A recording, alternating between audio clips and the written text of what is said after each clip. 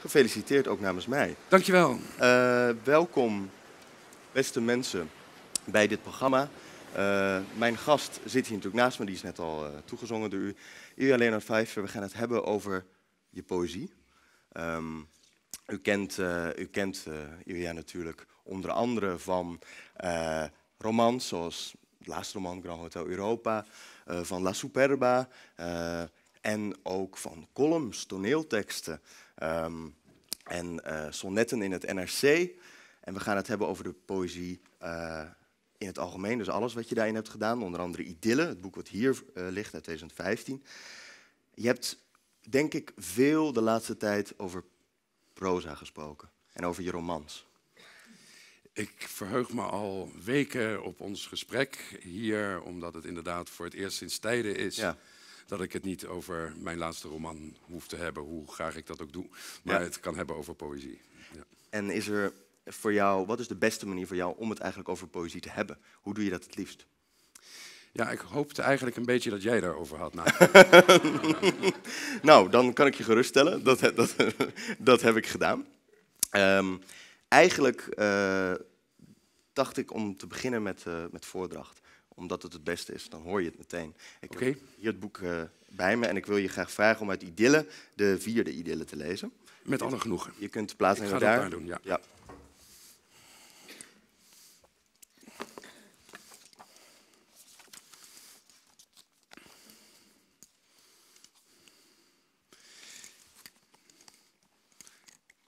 Ik ben ook uh, een dagje ouder, dus ik zet mijn bril op. We moeten leren om de dingen te vereren. En onze grijpende gedachten af te meren aan rimpeloze randen van een windstil glas. Elk ding bewaart herinnering aan wat het was, voordat het ding geworden is in onze handen. Het luistert naar een ander ding door dunne wanden in een belendend woonvertrek. Het visbestek mag stilletjes genieten in het afdruiprek. Terwijl de glazen in het kastje stiekem klinken, servetten kneukelen en lepels schuchter blinken.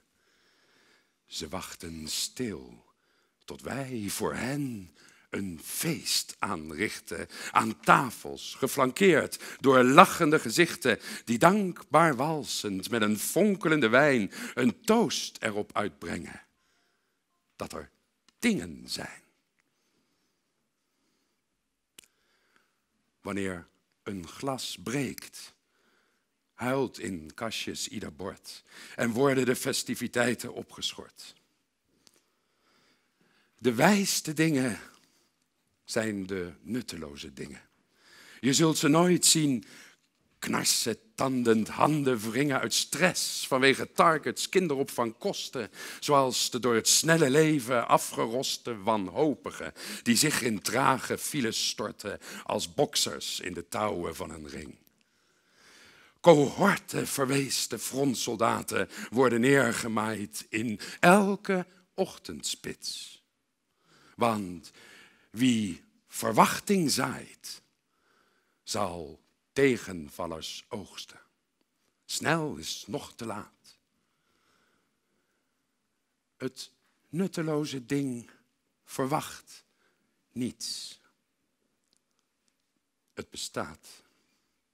Het staat op een buffet of op een vensterbank, ligt in een laadje of op zolder op een plank, wordt onverkoopbaar op de vrijmarkt weggegeven.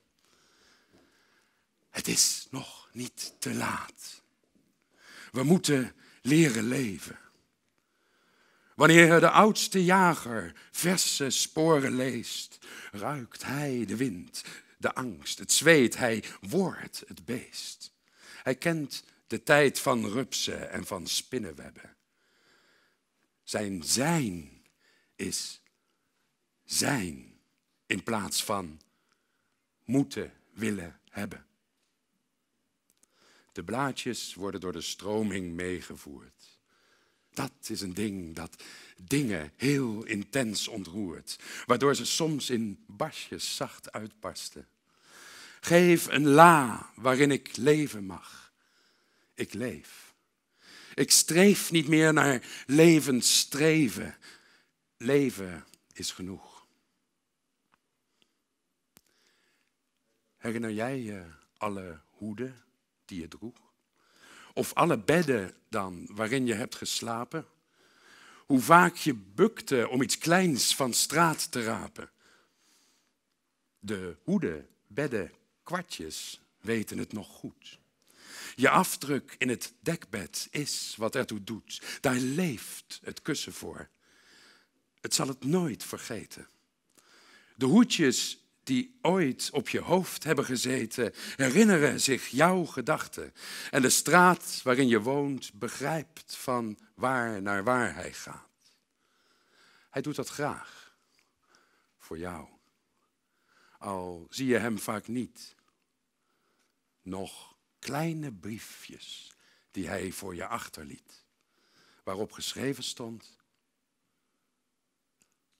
We moeten dingen eren. We moeten van de stille dingen durven leren.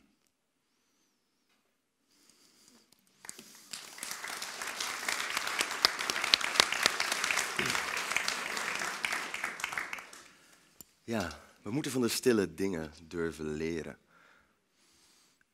Het leek, het leek toen ik dit gedicht voor het eerst las, dat er in die bundel met vijftig gedichten, in die dikke bundel idyllen, opeens een andere toon ook weer doorbrak. Snap je dat als ik dat zeg? Dat snap ik heel goed, ja. En uh, wat dat betreft uh, heb je feilloos misschien een van de minst representatieve gedichten uit de bundel uitgezocht om ja. uh, dit gesprek mee te openen. Ja. Dat klopt, ja. ja. Ik zag een soort vluchtlijn. Ja. Ik dacht, dan kunnen we misschien niet de, het boek helemaal wat er al over is gezegd over doen, maar misschien een andere ingang mhm. vinden. Ja, nee, maar dit gedicht is. Uh, ja, je zou het bijna een, uh, een vorm van uh, zen-boeddhisme kunnen noemen, mm -hmm. als je dat zou willen. Ja. Het is een gedicht waarin een leefregel wordt voorgesteld. Als zodanig staat het ook weer in een traditie. Ja. Maar wat dat betreft neemt het een vrij unieke plek in in de bundel. Ja, we moeten leren leven, ja. ja. Dat is echt een oproep. Maar het is ook weer niet helemaal uniek. Maar het, het begint eigenlijk ook al in, uh, in de eerste idylle. Mm uh, die afsluit met de regels. Uh, maar dat is dan op de, op de ik-figuur van toepassing. Mm -hmm. de laatste regel daarvan is. Ik zou niets liever willen dan te leren leven. Ja. Dus daar is dat gedicht dan ook weer een echo van. en misschien is dat eigenlijk wel waar uiteindelijk alle poëzie over gaat, misschien zelfs wel alle literatuur over gaat, ja. is uh, de oude vraag van Socrates: hoe moeten we leven? En in een roman kun je dat doen door uh, andere levens uh, te laten meemaken. Hè. Je kunt als, je, als lezer van een roman kun je je voor de duur van een roman verplaatsen in een ander persoon, ja, in een ander leven. En dat is een experiment dat uiteindelijk misschien helpt om een antwoord te formuleren op die vraag hoe moeten we leven. Bij poëzie werkt dat wat anders. Dat, bij poëzie heb je de gelegenheid om de gedachten en misschien ook de complexiteit van de gedachten eh, die de hele tijd door je hoofd spoken eh, vorm te geven, zonder die complexiteit te hoeven inboeten. En tussen al dat geweld staat er dan een gedicht over de simpelheid van de dingen. Ja. ja, precies. Tussen al het geweld, zeg je. Wat is dat voor geweld? Uh, de bundel Idylle is uh, nou ja, eigenlijk zoals ook veel van mijn, uh, van mijn eerdere poëzie uh, niet een karige, uitgebeende de bundel. Nou, het is geen taal die... Verstild staat te zijn. Nee, het uh, onzegbare van verstilde binnenmeren komt niet ter In jouw oeuvre niet zoveel nee. voor. En dan toch, da daar is vervolgens wel iets heel curieus mee aan de hand. Want dat klopt, dat is eigenlijk in al die bundels zo. Hey, we hebben hier van de vierkante man. Nou ja, daar is, zo heet uh, uh, de man van vele manieren, sorry. Uh, de, van de vierkante man is je debuutbundel. Ja, Dit is een, die staat er ook in. Die staat er ook in, dus ja. het verzameld werk. Eh, voordat eh, deze bundels nog zijn uitgekomen. Ja, en daarin ben je ook van de veelheid, van de, eh, niet van het verstilde. En toch is er ook een stem aan het woord in Idylle die zich bijna opstelt als een bekeerling. Die zegt, ik ga het anders doen in die poëzie. Ik heb het vroeger, staat er zelfs letterlijk in de zevende Idylle, verkeerd gedaan. Ja, Ja, ehm ontwortelaartje dat ik mij daar was. Zo noemt die dichter zichzelf. Wat is dat voor een, voor een eh, figuur wat op zoek is naar een bekering, lijkt het wel bij. Nou, ik heb gemerkt eh, dat gaandeweg de laatste tijd steeds meer van de boze buitenwereld mijn poëzie is binnengedruppeld. En dat geldt niet alleen voor de poëzie, ook voor mijn proza. Ja. Eh, La Superba is een roman over migratie. Grand Hotel Europa is een roman over Europese identiteit, over globalisering, over toerisme. Er is heel veel werkelijkheid eh, in mijn romans terechtgekomen. En eh, dat was vroeger veel minder. Eh, ook in de poëzie is dat zo. Ehm Idylle, deze bundel, staat vol met verwijzingen naar de wereld van nu. Er zijn gedichten over vluchtelingen, er zijn Ja. gedichten over de, iets, een situatie zoals in Syrië. Er zijn, Mhm. ja.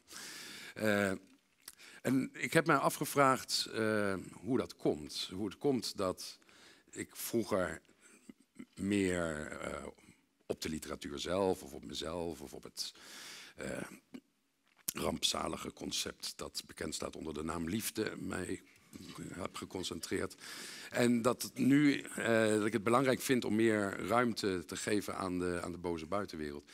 Het kan natuurlijk zijn dat ik eh, zelf ben veranderd. Ja, En ik denk ook wel dat dat zo is.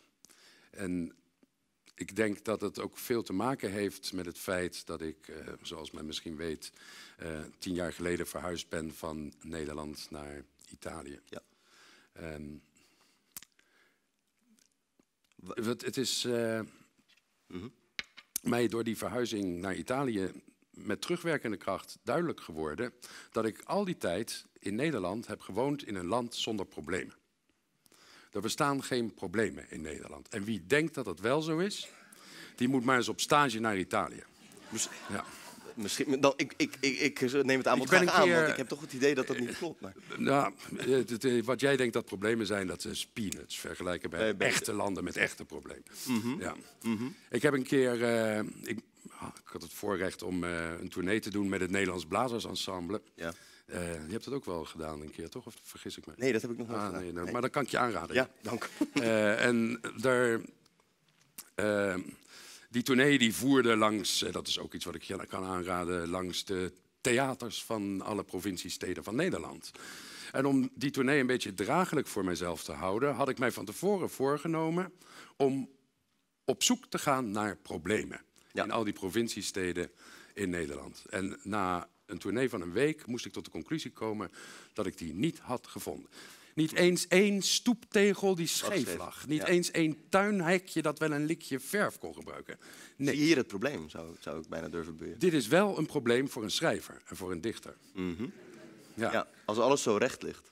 Ja, want als je, nou ja, stel dat je het idee hebt om een roman te schrijven, dan heb je toch wel een soort van probleem nodig. Of wat voor verhaal heb je anders? Als er geen, geen probleem is dat door een held moet worden opgelost. Ja, ja. Eh, of een waaraan de held natuurlijk ten onder moet gaan. Want anders is het geen literatuur, het moet wel slecht aflopen.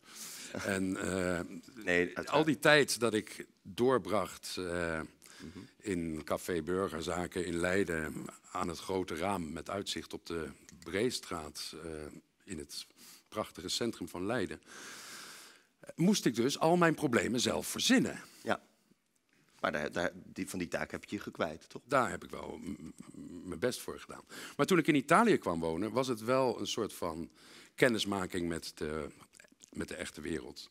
Ehm, ik hoef in Italië maar de trap af te gaan en mijn voordeur uit te gaan. En er is een overdaad aan problemen waaruit ik kan kiezen. Ik snap dat. eh, Ja, dit is nogal een grote verandering. Ehm, ik denk toch dat. Vind je het heel erg als ik de figuur die dat ook in Idylle zeg, toch ook niet helemaal vertrouw.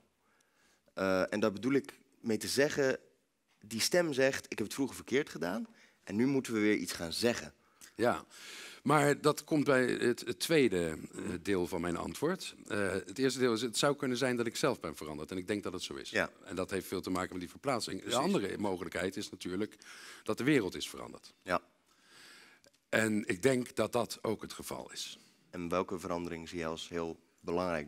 Nou ja, ik debuteerde in het jaar 1998 van Ja. de Vierkante Man. Ja. Dat waren de jaren van het tweede Paarse kabinet. Dat was nog voor de opkomst van Pim Fortuyn. Ja. Eh, dat was echt een andere tijd. Mhm. En eh,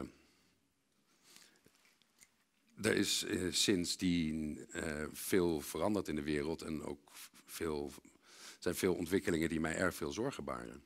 Veel meer dan vroeger.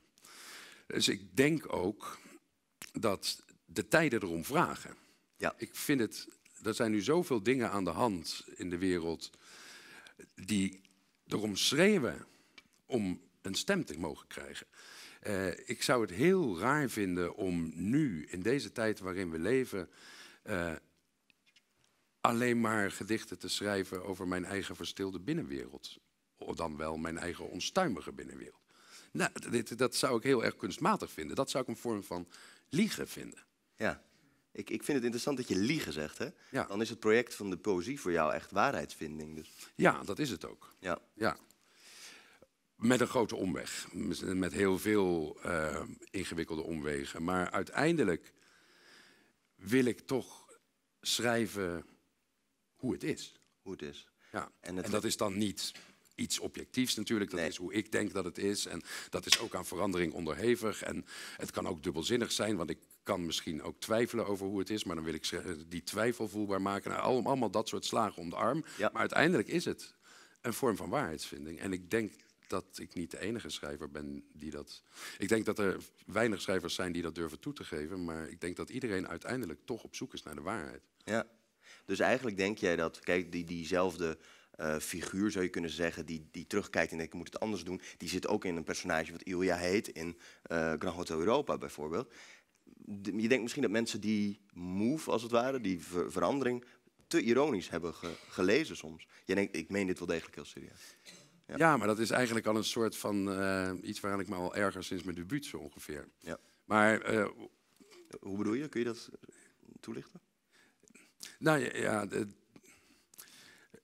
ik heb niet te klagen over de ontvangst van mijn poëzie. Al vanaf mijn debuut eh, waren het aardige recensies en zo. En ik mocht er ook een prijs voor in ontvangst nemen en weet ik wat. Eh, maar na een tijdje kon ik werkelijk het woord virtuoos niet meer horen. Oh ja. Ik werd de hele tijd maar virtuoos genoemd. En wat dat betekende was, Ja. het zit allemaal heel knap in elkaar, maar uiteindelijk gaat het nergens over. Aha. dat vond ik zo ontzettend, maar dat was echt niet waar.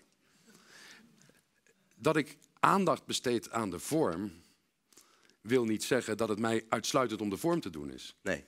Dat wil alleen maar zeggen dat ik de beleefdheid opbreng om aandacht te besteden aan de vorm. Ja. En, eh, Tegelijkertijd heb ik toch wel wat te zeggen. Ja, precies. En, de- en die dingen gingen sowieso al samen. Ook als ik nu weer heb gelezen ter voorbereiding van dit gesprek in dat verzamelde werk. Daar probeer je ook op allerlei momenten, denk ik, wel echt dingen te zeggen in verschillende vormen. Het is alleen wel opvallend dat hè, die vormen in idylle steeds klassieker ogen of klassieker worden. Ja, ik, dat is... Ja. Dat is opvallend. Ja.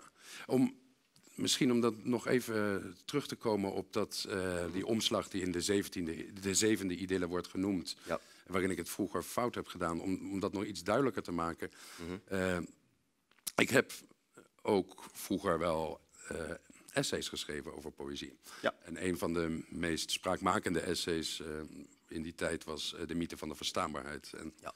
Waarin ik stelling nam tegen podiumpoëzie in, eh, in platte vorm en pleiten voor complexiteit in de poëzie. Ja. En eh, ik heb heel lang volgehouden altijd dat het de taak zou moeten zijn van poëzie om te ontwortelen. Ja, dat, noem, dat woord noem je. Ja. Ontregelen, ontwortelen, dat soort woorden. Mensen hun zekerheden ontnemen. Ja, Toen ik, en daar geloof je niet meer in. Nou, ik denk dat, het, dat daar nu eigenlijk niet zoveel behoefte aan is. Mensen zijn al totaal ontworteld. Dat was in 1998 wel anders hoor. Toen was het best wel gezond om een beetje zekerheden te ontdekken. Maar wat, Maar- sta- ja, maar ik, wat- wat- ik denk echt dat, dat, ik, dat de wereld in dat opzicht. eh, de, de mensen hebben nu geen niet bepaald behoefte aan onzekerheden. Nee. De, de onzekerheden zijn in overvloed aanwezig. Dus de behoefte is misschien. Maar wat geef je ze dan? Schijnzekerheid? Nee, geen schijnzekerheid. Wat ik ze wel geef is. eh, de waarheid. Ja. Maar dan mijn waarheid en Ja. maar dan een soort van manier om na te denken. Ik geef ze misschien houvast om opnieuw na te denken over die dingen. Het is geen zelfhulpboek natuurlijk. Nee, natuurlijk niet. Maar, nee, dat zou, nee, dat zou. maar dat ik, ik zou het nu ook raar vinden. Dat is eigenlijk waar die zevende, zevende idylle over gaat. Het, dat is wat ik vroeger fout heb gedaan. Dat ontwortelen. Ontwortelaartje dat ik me daar was. Mensen van nu hebben meer behoefte aan helderheid misschien. Mm. En dan kom ik bij jouw vraag. eh, dat weerspiegelt zich ook in de vorm. Ja. En daarom heb ik de laatste jaren eh, steeds meer gekozen voor klassieke vormen. Althans, dat is één van de redenen. Idylle is geschreven in rijmende Alexandrijnen. Ik heb eh, gelijktijdig die, eh, het Poëzieweekgeschenk Giro Giro Tondo als sonnettenkrans me laten verschijnen. Die klassieke vormen weerspiegelen een soort van eh, vernieuwd bewustzijn van het belang van helderheid. Daarnaast zijn het ook andere dingen. Want ik, wat mij ook heel erg fascineert aan die klassieke vormen is de muzikaliteit ervan. Dat is vanaf het begin altijd al een van mijn grote obsessies geweest in de poëzie. Ik vind muzikaliteit heel erg belangrijk in poëzie. En ook toen ik nog in vrije verzen schreef, lette ik heel erg op ritme, klank, eh, binnenrijmen, dat soort dingen. Eh, maar als je zo'n klassieke vorm neemt, een sonnetvorm of ook rijmende Alexandrijnen, door die vormeisen, door het metrum en het rijmschema, Ja. krijg je heel veel van die muzikaliteit cadeau. En daar kun je dan nog veel dingen aan toevoegen en daar kun je dan mee spelen. En dat, dat vind ik een heel interessant procedé. En heeft die beperking bijna, hè, die dus ook generatief is, iets voortbrengt, heeft die je ontzettend aan het schrijven gezet, omdat nou, het is een lijvig boek, eh, heeft, eh, heeft het je procedé ook veranderd? Ben je er ook echt anders door gaan werken? Ik ben er ook lang aan bezig geweest. Hè. Het Ja. is, eh, het, is, eh, ik ben blij als het de indruk wekt alsof het eh, in één doorwaakte nacht allemaal op papier is gekwakt. Dat geloof ik inspiratie van de muze, maar nee, het is, eh, Toch niet, hè? een aantal jaren heel hard en nauwkeurig werk. Eh, maar Mhm. Eh, en, en tegelijk, wat, wat ik ook een interessant eh, effect vind van die klassieke vormen, is het combinatie van, de combinatie van die archaïsche vorm. Rijmende Alexandrijnen zijn bijzonder archaïs, dat is de vorm van Vondel. Maar ja. ja. Eh, om in die archaïsche vorm het te hebben over de wereld van nu. Ja. Dus de combinatie van die archaïserende eh, metriek met actuele inhoud vind ik een interessante. Ja, want je meent een heleboel registers door elkaar van verschillende soorten taal. Je, je, de inhoud van je, eh, van je taal zelf is niet archaïs. Dat, Nee, dat botst dat- heel erg op die, op die vorm. Precies, ja, ja. Nee, dat moet je natuurlijk niet doen. Je moet dan Nee. natuurlijk niet in de taal van Vondel gaan praten. Nee, Nee, precies. Nee, alleen maar die vorm houden. ja. En je was er nooit bang voor dat je denkt, doordat ik deze vormen ga gebruiken, voor je het weet ben ik heel geparfumeerd en, en, en, en beleefd eh, aan het spreken of zo. Daar was je nooit bang voor. Eh, nou, nee, dat heb ik vanaf mijn geboorte al, dus dat maakt niet uit. Daar ben je sowieso al mee begiftigd. Hey, eh, je bent een, eh, een, een, een, nou ja, gretig lezer en bezorger van poëzie. Natuurlijk ook eh, als bloemlezer bijvoorbeeld. Ehm, maar ook in die essays die je over poëzie altijd al hebt geschreven. Eén opvallende eh, eh, naam die ik nog eens een keer bladerend door je werk tegenkwam... ik denk, volgens mij heb je het daar ook nog bijna nooit over gehad... was C. Shonagon, het hoofdkussenboek. Daar is Ja, een gedicht ja. wat je ooit aan haar hebt gewijd. Deze Japanse hofdame Dat klopt, ja. een prachtig boek heeft geschreven, 10e Ja. eeuw Japan. Eh, is daar een invloed? Wat is dat? Nee, dat, het is ook heel lang geleden hoor, Ja. C. Shonagon. Eh, en ehm, waar het vooral over ging, als ik, ik moet me nu echt heel diep graven in mijn herinnering, maar volgens mij herinner ik het me nog wel. Eh, het is een gedicht dat gaat over eh, de huid als papier. Ja, En de, het verlangen om de geliefde te beschrijven. De Ja. huid op de huid te mogen schrijven zoals je als dichter op een papier schrijft. Precies. En eh, toen ik dat gedicht af had, moest er nog een titel bij. Ah, En er was dat, eh, dat pillowboek, ja, maar er is ook een verfilming van. klopt. En waar dat eh, heel erg goed in beeld was gezet. En ik had dus eerder aan die verfilming daarvan gedacht Dan het boek zelf. dan het boek zelf. Om, het- ik kan me heel erg nog dat beeld herinneren. Ik weet niet meer precies waar dat zit in die film. Waar dat echt gebeurt. Dat op Ja. die huid wordt geschreven. Ja. Ja, oké, dus het ging meer om die handeling. Ja. Nee, het is omdat ik hem, eh, probeer te kijken naar ook literaire invloed, omdat ik dat mooi vond in een gesprek over poëzie. En je hebt het vaak over natuurlijk wat Lucebert voor jou betekend heeft. Hè? Eh, ik dacht, we, hoe kunnen we dat een beetje vermijden en iets anders doen? Ik denk dat ik het weet. En wat mij opviel in Idylle was dat er ongelooflijk veel aan Nijhoff wordt gerefereerd. ja, dat klopt. Het is Nijhoff voor en Nij- Nijhoff na Ilja. Is zit dit, veel is, in, ja. ja. Is dit ook, is dit ook een, eh, een onderdeel van, eh, van je ommekeer? Of was Nijhoff eigenlijk altijd al wel? Het was altijd al wel een dichter Ja. die ik erg heb bewonderd. Ja, Dat is een van mijn, mijn lievelingsdichters uit Nederland. Wat Eh. is het wat Nijhoff zo goed maakt? Oké, weer even voor de mensen hier aanwezig die dat zich afvragen. De vormbeheersing. Mhm. Nijhoff is eh, op een heel nadrukkelijke manier, op een heel onnadrukkelijke manier buitengewoon virtuoos, om mijn lievelingswoord te gebruiken. Ja, En, en A-water is dan het gedicht wat het meest, denk ik. ja Awater is eh, voor, een gedicht dat voor mij wel heel belangrijk is. Dat heb ik al sinds ik dat voor de eerste keer heb gelezen, altijd bij mij, met me meegedragen als een bron van inspiratie. Ja, vanwege. eh, het, is, het is een lang narratief gedicht. eh, heel erg suggestief, evo- evocatief. Eh, het, is nog, het is eigenlijk onmogelijk om samen te vatten wat erin gebeurt. Terwijl je toch het idee hebt dat het heel erg belangrijk is wat er daar wordt verteld. En ja, dat vind ik van grote klasse.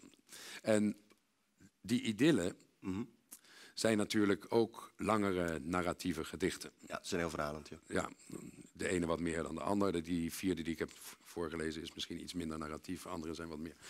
Dus eh, terwijl ik dat aan het schrijven was, lag de associatie met A-water ook wel voor de hand. Alleen al vanwege de vorm en de ambitie. Ja. Dus dan dacht ik, nou dan moet ik daar ook maar eerlijk over zijn. Dus dan ga ik dat ook maar eh, aangeven, citeren. Zeg maar, een soort van eh hommage. Ja, een- eigenlijk is het bijna een hommage. Ja. Ja, En, ja. en soms ook een herschrijving. Directe variaties op de regels. De schrijfmachine, mijmert, gekke praat. Eh, lees maar, er staat niet wat er staat, bekende regels uit A-water. Duiken allerlei varianten door die hele bundel. Al die idyllen duikt dat op. Ja, als ik daar eenmaal aan begin, dan kan ik niet meer ophouden natuurlijk. Dan zie ik allerlei mogelijkheden om daar weer spelletjes mee te spelen. En binnen die bundel interne verwijzingen aan te brengen via die... Nou ja, dan, dan wordt het natuurlijk een, eh, een soort van leidmotief. Ja. Ja, precies. En, en als je naar je lees, lezende leven en schrijvende leven als dichter kijkt, zijn er ook liefdes bijgekomen die misschien recenter zijn? Werk wat je hebt ontdekt en wat, waarvan je zegt, ja, dat heeft me eigenlijk beïnvloed. Maar dat kende ik nog niet voor mijn veertigste, zeg maar even. Ja, dat is wel zo. Eh, maar dat gebeurt aan de lopende band. Het is eigenlijk eh, bij, eh, eigenlijk bij elk gedicht dat je leest, of bij elke bundel die je leest, verschuift je poëzieopvatting idealitair een klein beetje. Ja. En dat gebeurt wel, ja.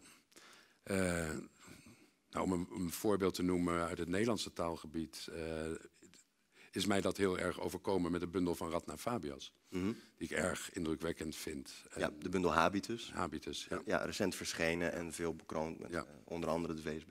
ja.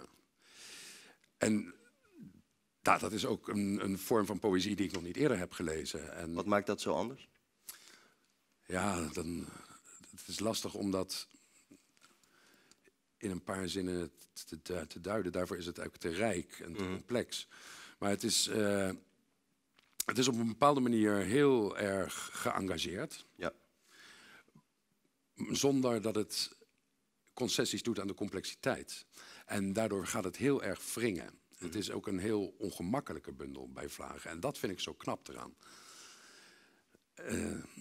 Het ongemak. Ja, en het, eh, het ongemak dat ook heel erg een ongemak is van deze tijd, denk ik. En dat, dat laat het heel goed zien. En dat in een, eh, in een dictie die zo ontzettend precies is en zo effectief, dat, dat vond ik een, een eye-opener.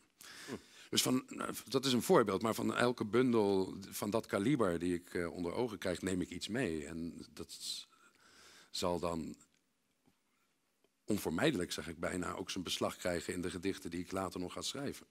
Al zal dat misschien niet zijn in de vorm van letterlijke verwijzingen of citaten of zo, maar toch. Dat, Dat gaat broeien. dat verandert je een beetje. Ja. Ja. En als we naar de- het thema van het festival kijken, hè, het eh, decoloniseren van de geest eh, en, de, en de poëziegeschiedenis in, in Nederlands taalgebied. Wat, hoe, hoe kijk je naar dat thema? Welke, welke dichters eh, zijn ervoor belangrijk geweest? In die, de, po- de poging dat te doen of dingen ter sprake te brengen? Je daar Eh, een idee over? Nou, eh, als je het hebt over eh, omgang met onze koloniale geschiedenis, Mhm. hebben we natuurlijk een buitengewoon magere traditie. Dat is onderdeel van het probleem. Mhm. Dat is niet iets wat het heel erg in onze literatuur wordt verwerkt. Was het maar waar. En dingen worden snel vergeten, heb ik ook het idee. Ja. Eh, wat er soms wel was, zakt weer snel weg. Is dat iets typisch voor, voor ons literair taalgebied? Of verzin ik dat nog maar?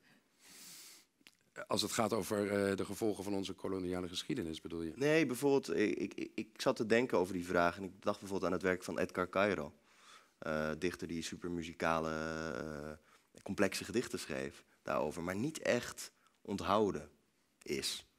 Eh, hoe, ja, daar, daar, zit iets, daar zit iets met dat ehm, blijven voortbestaan misschien.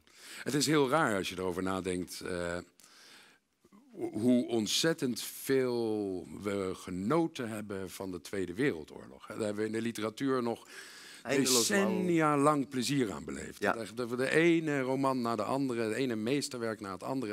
Het Ja. ging maar over de Tweede Wereldoorlog. Ja, Maar dat was misschien iets fijner voor ons, want toen zaten we veilig aan de slachtofferkant. Hè. ja, dat is makkelijker om over te schrijven. Ja. De onze koloniale periode is, denk ik, in narratief en poëtisch opzicht oneindig veel rijker dan de Tweede Wereldoorlog. Daar kunnen we ook, of in ieder geval minstens net zo rijk. De- als je op zoek bent naar gruwelen, kunnen we dat daar ook vinden. Maar het is raar dat daar eigenlijk nauwelijks sporen van zijn in onze literatuur. Zeker in vergelijking met de Tweede Wereldoorlog. Maar ja, daar zaten we aan de daderskant. Dus dat Ja. is misschien iets minder ehm, comfortabel. Maar ja, dan kan ik weer Radna Fabias noemen. Dat vind ik nou echt een heel goed voorbeeld van iemand die dat... eh, nou, z- zij komt van Curaçao en schrijft daar ook over. Maar niet op de manier... Het is geen politiek pamflet, het is geen aanklacht. Het laat juist die complexiteit zien. En ik denk dat als we het hebben over dekolonialisatie van de geest moet dat niet ten koste gaan van de complexiteit en van de ambiguïteiten en van de moeilijkheden. En daarom heeft dat juist literatuur nodig, denk ik. We kunnen dat niet oplossen met eh, simpele slogans of van bovenaf, bovenaf opgelegde spijtbetuigingen of zo. Nee, we moeten die complexiteit daarvan onder ogen zien. Ja, interessante manier om te kijken naar hoe die Tweede Wereldoorlog dingen verdrongen heeft, misschien in de literatuur als herinnering ook. Ik, ehm, kijk even naar mijn klok die hier staat. Ik wil je namelijk nog wel de ruimte geven om af te sluiten met ehm, een voordracht. Ehm, misschien eh, wil, ik je, wil ik je zelf laten kiezen wat je, wat je wil, wat je geschikt vindt. Oké, dankjewel. Ja, alsjeblieft.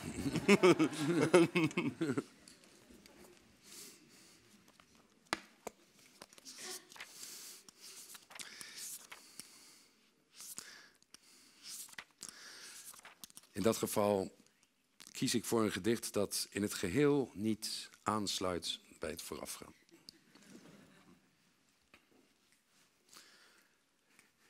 Ik hang de druiven op. Ik giet de wijn erin. Voorzichtig, één voor één, vul, ik ze met hun zin, die in de grond zal zingen, waar ze in verdwijnen. Ik plak het vlees aaneen, tot dieren weer verschijnen, die loeiend uit het slachthuis naar de weide snellen, waar zij steeds aaibaarder, steeds strakker in hun vellen boterbloemen planten met hun gulle monden en leven voor het stelpen van hun moeders wonden. Met planken richt ik bomen op. Hun kruin zal ruisen van vers ontbraden vogels die daar zingend druisen om terug te kruipen in een rond en glimmend ei.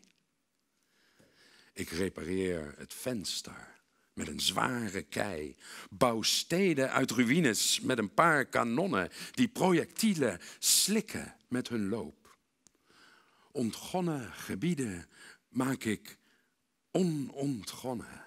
Verre landen zie ik verlaten worden op hun blanke stranden door reizigers die kruisen uit de aarde trekken en op galjoenen achterwaarts voorgoed vertrekken gezogen door de wind, gebrand om te vergeten, waardoor de wereld groeit met al maar minder weten. En elke nacht ontwaak ik, dronken van plezier, wanneer de feesten zijn waar wijn ontstaat en bier uit gulle kelen die steeds helderder gaan praten totdat ik in het middaglicht door volle straten met knipperende ogen naar mijn huis toe loop en brak en misselijk ga slapen. In de hoop dat gisteren opnieuw een mooie dag zal zijn voor vrolijk braken van miljoenen liters wijn. Ik ben bevoorrecht. Dat besef ik heel erg goed. Waar mensen moeten is er weinig wat ik moet. Ze stoppen drollen terug in baby's. En elke dag gaan zij verplicht naar winkels om een groot bedrag aan euro's af te halen. En er zijn geen banen om al dat geld aan uit te geven. Onderdanen van de productiemaatschappij zijn zij.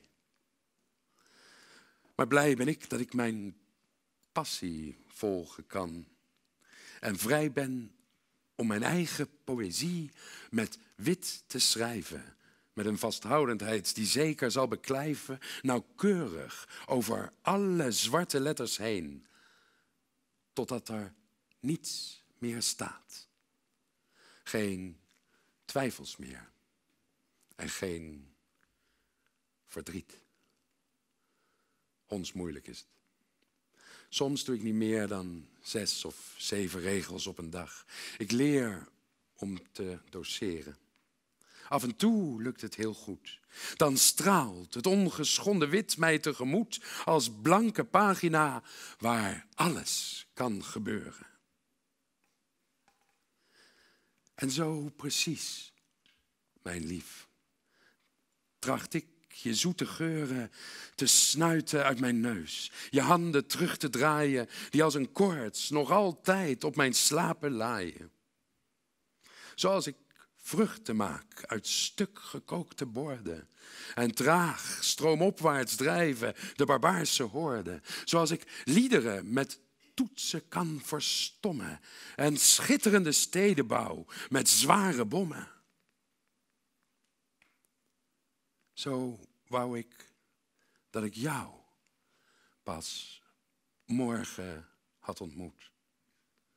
En alles wat ooit fout ging, ging dan zeker goed. Dank u